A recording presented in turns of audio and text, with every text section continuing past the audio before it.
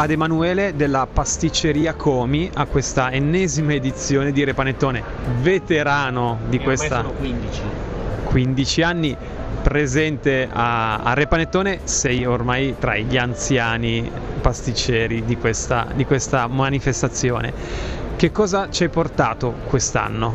Eh, Ho portato il solito tradizionale che per me il panettone è quello tradizionale con i canditi, l'uvetta, il classico milanese che io chiamo brianzolo e poi abbiamo un progetto parallelo che è il paesanettone dove abbiamo preso la torta paesana che è una torta povera delle nostre parti e l'abbiamo trasformata in un panettone.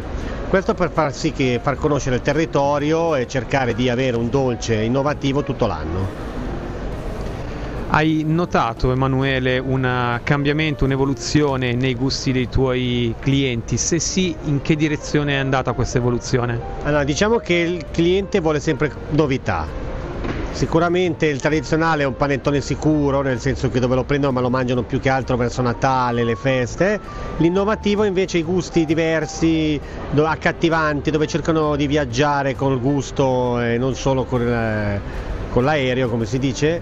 Cercano questi gusti nuovi, ecco, gusti alternativi, sempre equilibrati però, perché un conto è fare il gusto con l'effetto wow, un conto è fare un panettone equilibrato con un gusto deciso e interessante.